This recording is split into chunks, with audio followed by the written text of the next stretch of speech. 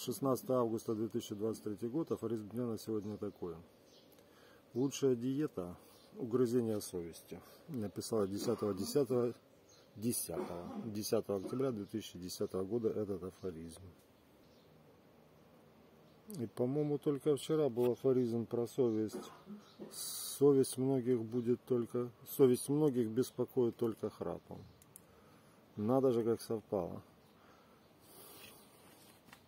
Совесть многих беспокоит только храпом.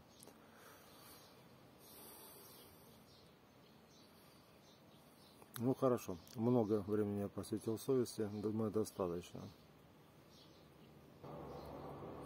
А, вчера, по-моему, было не про совесть, а про скромность. Скромность украшает человека, часто это все, что есть в доме из украшений.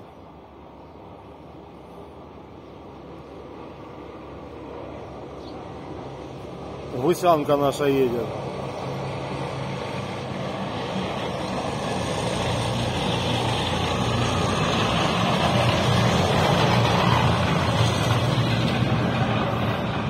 Что не может не радовать.